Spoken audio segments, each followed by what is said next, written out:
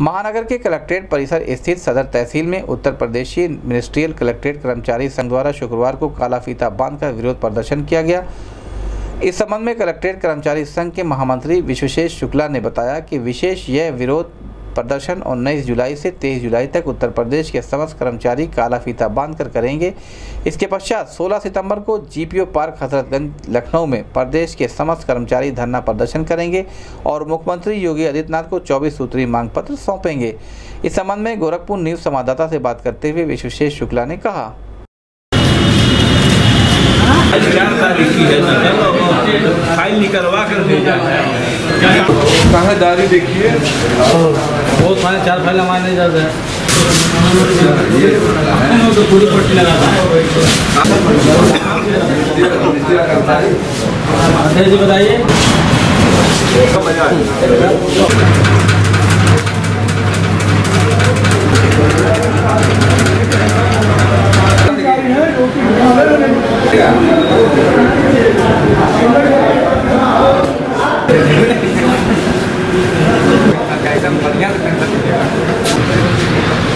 ये करीब में आइए हम इसके प्रसाद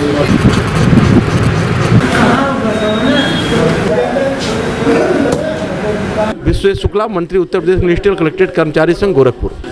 शासन स्तर पर कलेक्ट्रेट कर्मचारियों की लंबित 24 सूत्री मांगों को लेकर प्रदेश नेतृत्व द्वारा लिए गए निर्णय के क्रम में दिनांक 19 से 23 तक काली पट्टी बाँध कर प्रत्येक कलेक्ट्रेट कर्मचारी कार्य करेगा।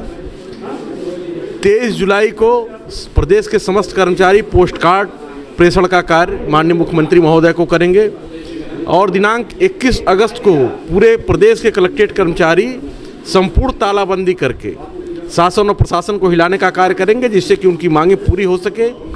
एवं यदि 16 सितंबर तक हम लोग की मांगों को नहीं माना जाता है तो 16 सितंबर को जीपीओ पार्क हजरतगंज लखनऊ में पूरे प्रदेश के कर्मचारी इकट्ठा होकर शासन के बंद कानों को खोलने का काम करेंगे एवं माननीय मुख्यमंत्री महोदय को ज्ञापन प्रेषित करेंगे।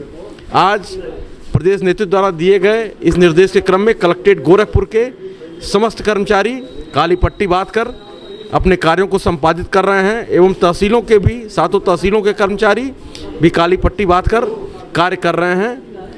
हम यही चाहेंगे कि माननीय मुख्यमंत्री जी हमारी मांगों की तरफ़ ध्यान दें एवं उसको पूर्ण करें, जिससे कि पूरे प्रदेश में तालाबंदी की स्थिति न आए। जय संघ